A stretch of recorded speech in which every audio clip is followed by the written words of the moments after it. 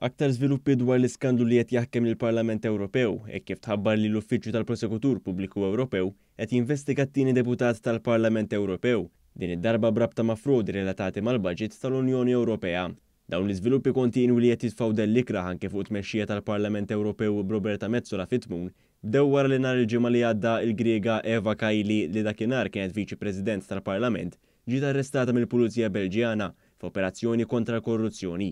L-avukat tagħha ċaħad li hija xxaħmet mill-Qatar u li qalet li hija mxiet biss mal-ordnijiet mill-President tal-Parlament, Roberta Metsola.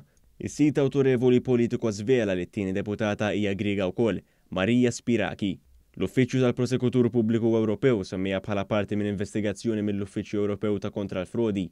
Dan qed jara li jneħħi wkoll l-immunità ta' Spiraki li kienet ingħatat it-titlu ta' MEP of the Year. Fid-dawl ta' dan it-tieni isem imħabbar b'rabta ma' investigazzjoni mill-Prosekutur Pubbliku Ewropew, il-ġurnal Politico kritika bl-aħrax il-grupp tal-Partit Popolari Ewropew għall-mod ta' kif ipprova jieħu vantaġġ politiku partiġġjan mis-sitwazzjoni ta' bħalissa billi ħareġ fuq offensiva kontra l-Partit tas-Soċjalisti u d-Demokratiċi.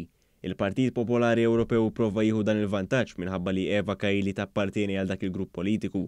Politico qal li l-fatt li Dlong tħabbar li hemm ukoll membru tal-istess Partit Popolari Ewropew li qed tiġi investigata, juri li din mhux kwistjoni ta' xi grupp politiku jew ieħor.